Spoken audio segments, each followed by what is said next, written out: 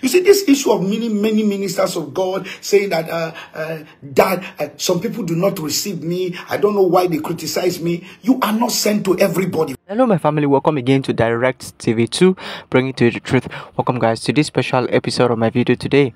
And right in today's video, guys, I'm here with the man of God by person of um Prophet Joshua Iginla and also the man of God by person of uh, Reverend Dr. Chris Oyakhilome. And now I have to title this um Prophet Joshua Iginla actually speaking like Pastor Chris because of the insight he's going to be giving in today's message.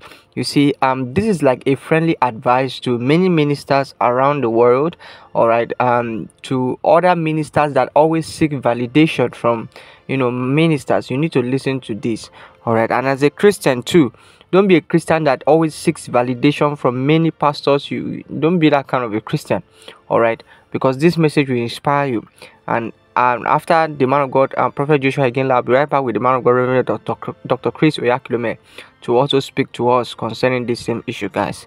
Don't forget to hit the like button and subscribe to this channel. Please watch this. You can be called and you are not sent. He has sent me. Have you been sent? Because there are too many called men of God who are not sent. Are true believers who are called who are not sent. He has sent me. And, and let me say this quickly to every person who is hearing me. When you are sent, you are sent to the broken hearted life. For me, this is a dimension. You must know who you are sent to. You see, this issue of many, many ministers of God saying that uh, uh, that uh, some people do not receive me. I don't know why they criticize me. You are not sent to everybody, for God's sake.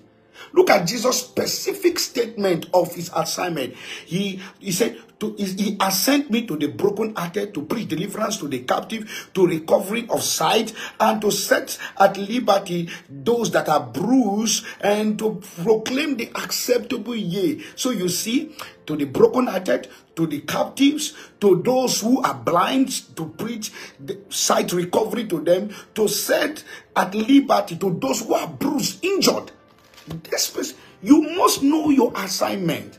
If you don't believe in me, it's because I'm not sent to you. I'm not sent to you. I'm not sent to everybody. Why must everybody love me? Why must everybody love me? It's okay for you not to love me. You can even be in this live broadcast and you look at me and say, This Iginla, I don't love this Iginla. Who is he? It's okay. Because I'm not sent to you. Why should you why why should you believe in me? Because I'm not sent to you. Everybody, you are not sent to everybody. There are too many people trying to get the validation of so many ministers, eh, of so many people. You want everybody to love you. You want everybody to accept you. How can everybody accept you? Because you are not sent. You, when you know what you are sent to do, your assignment that you are sent, you stay within the constituency that you are sent, and those people you are sent to will receive you. Hear what Jesus said. He said, I know my sheep, and my sheep knows me, and when they hear my voice, they will come. And the voice of a stranger, we did not hear? When, when you minister as the gospel of God, and people don't hear you, because you are not sent to them. If you are sent to them and they are your sheep, they will hear you. There are people that God have raised, raised me to raise them that have been around my ministry for over 30 years. And I've seen the ups and downs I've gone to. They have met ministers far above all manner of human beings that have told them, look, don't go, don't. And and they, and they come back and just smile and say, Papa, they don't even understand that um, how, how, my relationship, our relationship with you is a covenant relationship because we, I know one specifically, uh, one of my sons specifically told me, he said, Papa, I just know you are sent to me and I'm sent to you to follow you. There are people that will not leave you, that will not leave you. So if every minister begin to understand this, eh, that's why no matter how a minister criticize another pastor, he still sees people following that pastor and he begin to wonder i think i hate this pastor. This pastor is not this. This pastor is not that. This pastor is not that. You see the question they don't understand is that one person is not sent to everybody in the world Alright, my family, there you have it with the man of God by person of Prophet Joshua Iginla. Now you see this is an inspiring piece and a friendly advice to many ministers out there that are watching today's video or you know ministers of the gospel who always seeks validation from other pastors you see. And then when they are being criticized or you're a pastor that you have been receiving attack criticism, uh, criticism from many people all right this is just like um you know an encouragement to you that you are not sent to all right or everybody all right the fact that someone doesn't accept you doesn't mean that you are not a man of god or you are not a pastor that uh, that god called you. All right. So i also like you to listen to the words of um the man of god reverend dr chris as he also shares some light on this same topic guys. All right. I'm really bringing this so that you get inspired all right don't forget to hit the like button and also subscribe to this channel. Please watch this. Family there you have it with the man of god by person of the highly esteemed reverend dr chris oyakhilome and also the man of god by person of prophet joshua iginla. Now you've heard um, for yourself what i'm trying to explain or bring to you in today's video.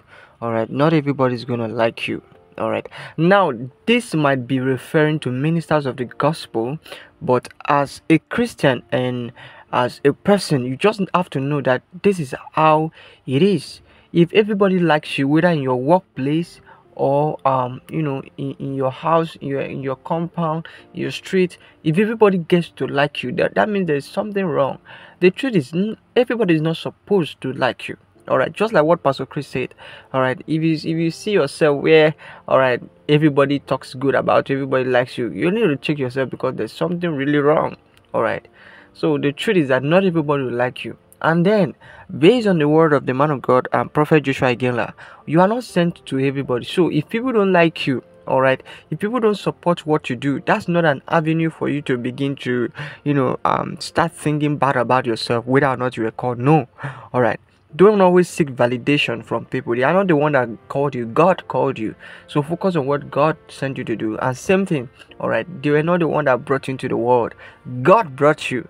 So focus on what god says about you rather than what any other person is saying about you. I really believe you are blessed in today's video. And for those of you coming newly to my channel kindly to subscribe button subscribe. And if you ever like the video hit the like button like today's video guys. And i'll see you in my next video. Bye